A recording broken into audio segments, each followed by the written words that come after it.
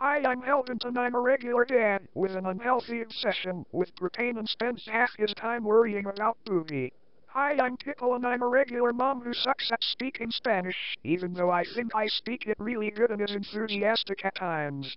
I'm Booby and I'm a somewhat lazy, dumb, fat, and effeminate teenage boy who basically is the combination of all negative youth stereotypes.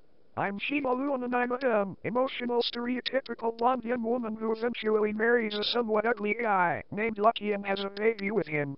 I'm just living my normal and considerably boring life. Yep. Yep. Yep. Um um. Oh no, something has gone wrong in life because of somebody else's actions or some accident. I'm gonna try to solve it in a reasonable manner. Oh no, it didn't work. Now to try and solve it in a ridiculous fashion, even though I usually don't want to do it that way.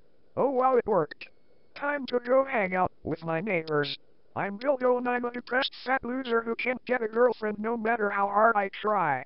I'm Dolan and I'm a paranoid guy who believes in tons of bullshit and is unknowingly raising my friend's bastard. I'm Bud Handler and I speak in a way that none of the audience understands, and that's basically it.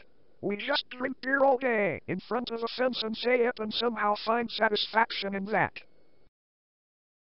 Weed. Every day smoke weed. We smoke weed every day. We every day smoke weed. We smoke weed every day. Smoke weed. We smoke weed every day. Every weed.